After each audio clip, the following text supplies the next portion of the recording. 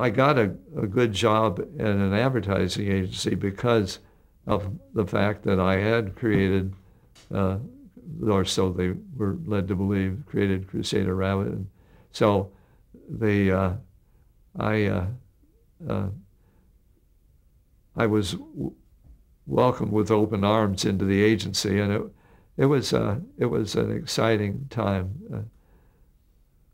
What agency was that? It's called Guild Bascom Bonfigli, and uh, they had they had made a they had had a made a success of a, a peanut butter called Skippy peanut butter, which was produced by Jerome Rosefield over in Alameda, and it was a really a, a superior peanut butter, and uh, so many agencies uh, it it long after a while became the number one seller in the, in the world. So people would come to the advertising agency and say, well, if they can do that for Skippy, they can do it for us.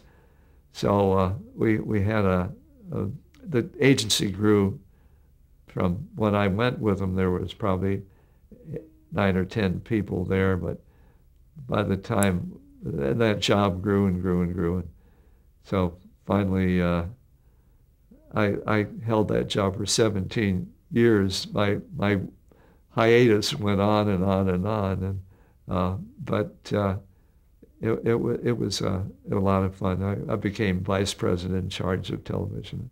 We specialized in food accounts only, and the good thing about a food account is you, you have to titillate the public into trying it once.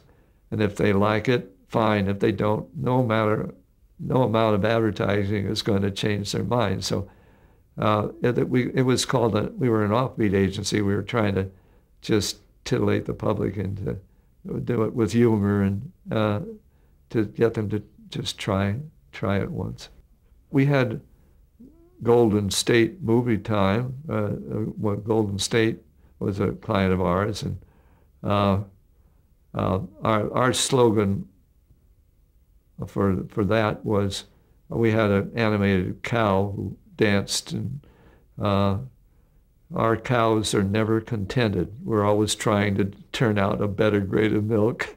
It's just silly stuff, but it was uh, we uh, we it was a very successful uh, career. There were animated uh, firms, animation firms down in Los Angeles that that I would go down and uh, to to do to do the animation. We didn't. Uh, I uh, I never never did it.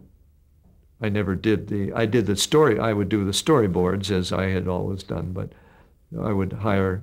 We would hire a commercial producer to do the animation.